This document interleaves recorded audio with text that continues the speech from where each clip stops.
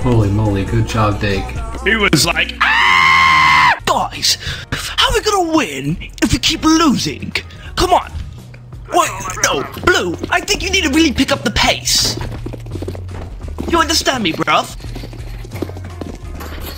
I want you to go peek right now. Yellow, team kill me right now. You won't, bitch. That's what I fucking thought. You could never team kill Dick. I'm invent.